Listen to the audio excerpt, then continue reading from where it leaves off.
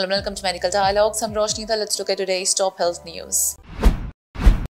Video of Medanta Hospital chief promoting weight loss drug is a deep fake, say Gurgaon police. In the age of digital deception, even the most esteemed figures in the medical community are not immune to the perils of deep fake technology. Dr. Naresh Trehan, the revered chairman and managing director of Gurgaon's Medanta Hospital, has found himself ensnared in a web of deceit as a fabricated video falsely attributes him to endorsing a dubious medical treatment for obesity. This act of spreading misinformation has prompted swift action, with an FIR being registered against the perpetrators responsible for creating and disseminating the deceptive video. The gravity of the situation is underscored by the potential ramifications of such falsehoods, which could sow panic and confusion among those seeking reliable healthcare guidance.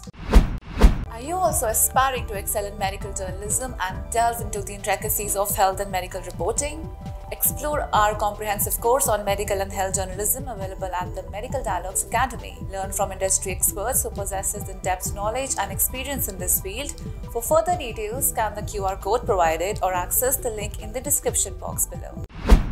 The complaint lodged by Harish Aswani, Assistant Vice President of Medanta Hospital Marketing Division, rightly emphasizes the need for immediate measures to remove the video from social media platforms and hold the culprits accountable for their actions.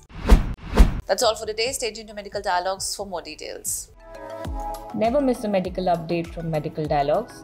Like, subscribe, and press the bell icon.